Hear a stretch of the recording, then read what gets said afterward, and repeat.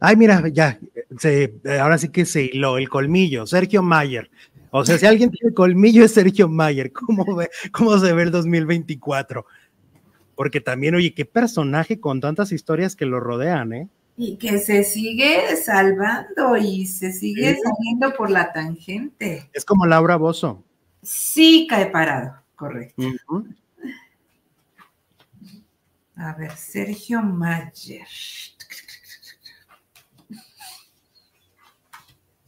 Híjole, pues mira, Sergio Mayer se va a encontrar a alguien como él.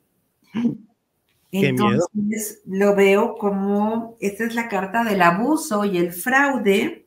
Pueden acusarlo de un fraude y puede ser que sea de los que migra o le consigan una embajada en otro lugar y salga del país. Ok, ok, ok, ok. Pero entonces se salva nuevamente. Se salva porque está muy protegido. Pero sí veo que en un futuro igual y salga del país por razones que de trabajo, que van a ser otra cosa, pero me sale igual la espada sobre él, como una amenaza sobre él.